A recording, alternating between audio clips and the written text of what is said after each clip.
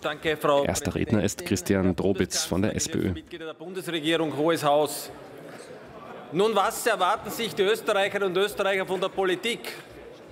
Ganz einfach die Antwort.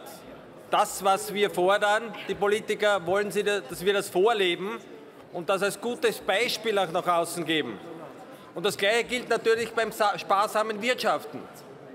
Das ist die Grundlage, das ist die Vorbildwirkung der Politik, die gefordert wird und erwartet wird. Und gerade in Zeiten, wo die Menschen mit dem Rücken an der Wand stehen, ist es wichtig, dieses Vorzuleben zu zeigen. Und die obersten Organe, die heute auch im Budget behandelt werden, sind die ersten, auf die wir zeigen müssen. Und Herr Bundeskanzler, die obersten Organe, insbesondere der Bundeskanzler und auch der Nationalratspräsident, sind diejenigen, wo hingeschaut wird und wohin gezeigt wird. Und ich möchte mit Ihrem Budget anfangen, Herr Bundeskanzler. Sie haben eine Steigerung von 8,1 Prozent oder 38,7 Millionen im Budget enthalten. Und Sie machen das eigentlich, was Ihr Vorgänger Sebastian Kurz gemacht hat.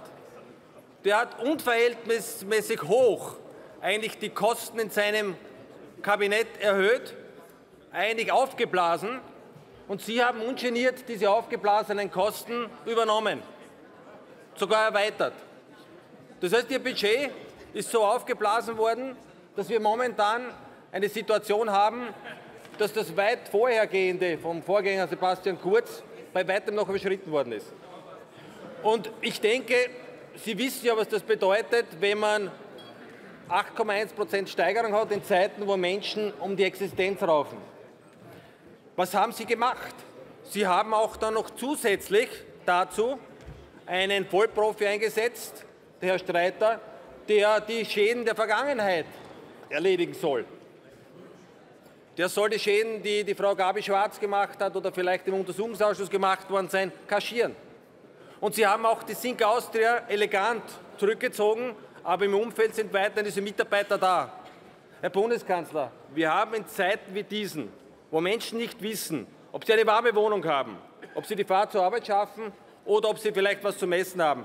Wir haben derzeit bei Ihnen eine Position, dass 85.000 Euro täglich in Ihrem Kabinett für diese Aktivitäten ausgegeben werden.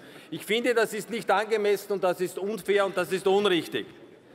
Und Herr Bundeskanzler, diese Art der Politik ist genau das, was ich gesagt habe, nicht glaubwürdig, null glaubwürdig.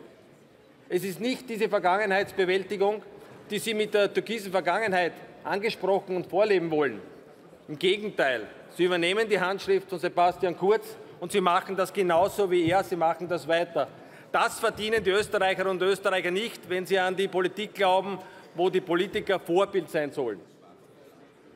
Und Herr Bundeskanzler, dieses Sittenbild der ÖVP geht aber weiter zu Ihrem Nationalratspräsidenten Wolfgang Sobotka, der für mich zwei krasse Fehler gemacht hat.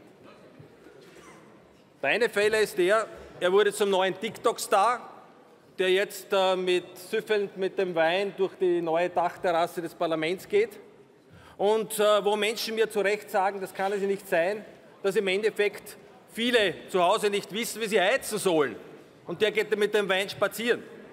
Und gleichsam hat er einen zweiten Fehler gemacht, und der ist heute schon vom Kollegen Kickel angesprochen worden, man einen vergoldeten Bösendorfer Flügel, Flügel zu kaufen.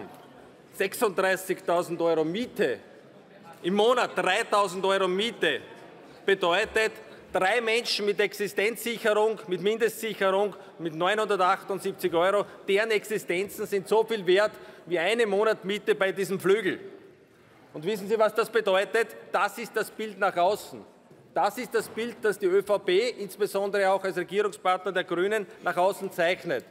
Und wir haben heute schon angesprochen worden, wir haben eine Mitgefühlkrise, wir haben eine Empathiekrise. Und wir haben im Endeffekt nur eine Möglichkeit, da rauszukommen. Lassen Sie das Volk entscheiden, Herr Bundeskanzler.